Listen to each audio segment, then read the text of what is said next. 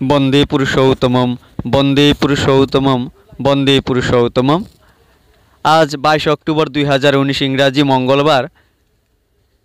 বর্তমান সৎসঙ্গের প্রধান আচার্যদেব শ্রী শ্রী দাদার শুভ সাতাশিতম জন্মদিন।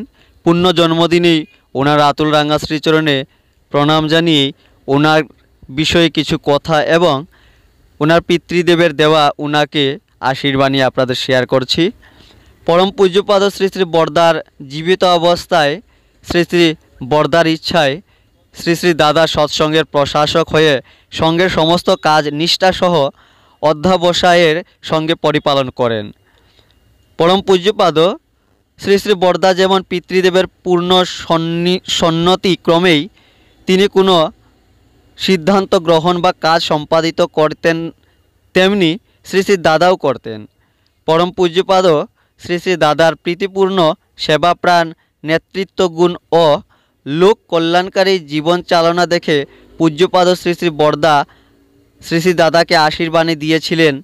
বাবু, জীবনের তৃষা সদা যাচে আশা আলো। জীবনের তৃষা সদা যাচে আশা আলো। জীবন বৃদ্ধি মহামন্ত্রে সে আলো জালো। অজ্ঞান অশান্তি আর মূঢ়তা নাশিয়া ইষ্টার্থ প্রতিষ্ঠা কর সর্বশক্তি দিয়া।